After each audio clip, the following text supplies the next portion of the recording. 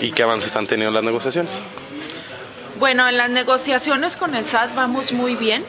Eh, estamos muy uh, positivos, esperando que la certificación para la industria maquiladora sea muy sencilla y que podamos también eh, mejorar el, porcentaje de impuestos sobre la renta que vamos a pagar. Eh, estamos trabajando todavía con el SAT eh, seguimos teniendo juntas de trabajo con ellos, precisamente esperando eh, traer resultados positivos para la industria maquiladora.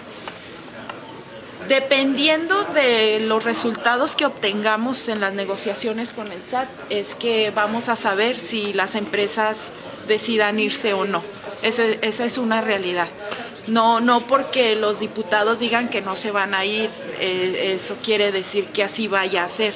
En realidad la decisión de si se van o no va a estar en base a los resultados que tenga el Consejo Nacional de la Industria Maquiladora. Pero si hay posibilidades, si hay inquietudes de parte de las empresas. Claro que si hay posibilidades y hay inquietudes, eh, eso siempre lo hemos estado reiterando, ¿verdad? Claro que sí, pero como te digo, todo va a depender de los, de los resultados que obtenga el Consejo Nacional de la Industria Maquiladora en sus negociaciones que tienen ahorita con el SAT.